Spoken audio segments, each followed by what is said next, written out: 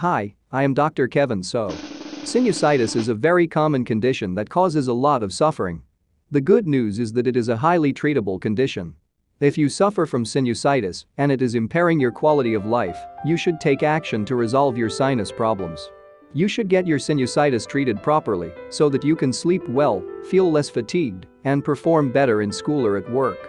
The sinuses are four pairs of naturally occurring air-filled spaces in the skull. They are named after the bone they are found in. The frontal sinus lies in the frontal bone. The maxillary sinus lies in the maxillary bone. The ethmoid sinus lies in the ethmoid bone. The word ethmoid comes from the Greek word sieve.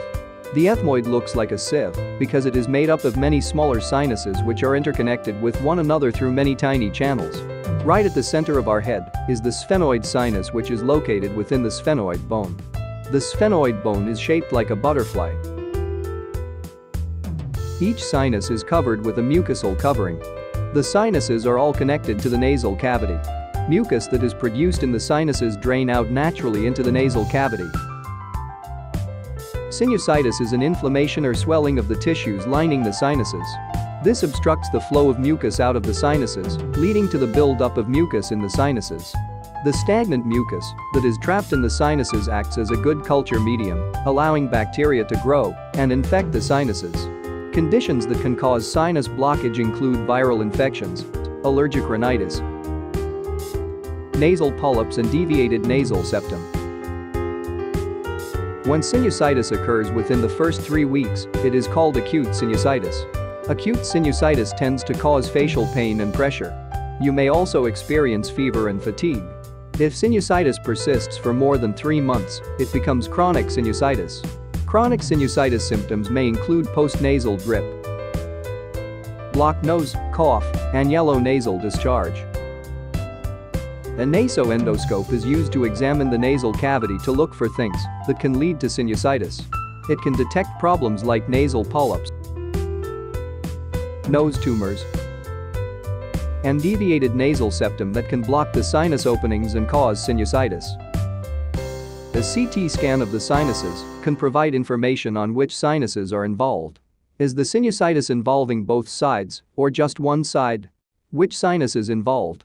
Is the frontal, maxillary, ethmoid, or sphenoid sinus involved? Is there a tooth infection that is causing the sinusitis? Is there calcification in the sinuses which suggests a fungal sinus infection? Is there any bony erosion of the walls of the sinuses which suggests the presence of a sinus cancer? Initial treatments for sinusitis may include the use of nasal sprays,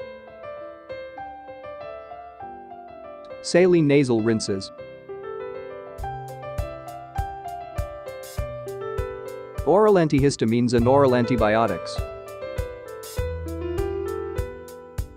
You should drink plenty of fluids to keep the mucus thin and less viscous. You should avoid exposure to polluted air and passive cigarette smoke. If you have fungal sinusitis, you may need treatment with an antifungal agent. If your symptoms do not respond to initial therapies, sinus surgery may be required to open up the blocked sinus openings. The aim of surgery is to whiten the sinus openings to allow pus in the sinuses to drain out easily, as well as to allow air to enter and ventilate the sinuses. Surgery is performed using a combination of instruments, which include microdebriders, balloon sinuplasty,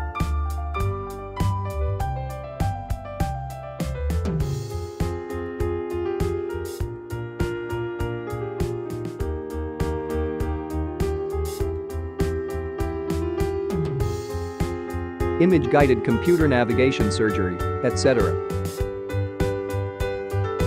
In some cases, sinusitis that is left untreated may lead to complications. The infection may spread out of the nasal cavity and sinuses into the surrounding tissues. Sinusitis have been known to sometimes progress to ear infections,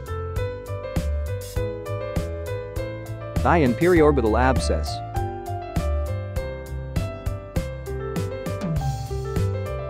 brain infection.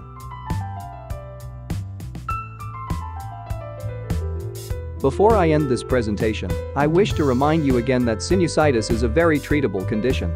We have a variety of effective medications and surgical techniques to get rid of sinusitis. So if you are suffering from sinusitis, do not delay, take action today, get treated today.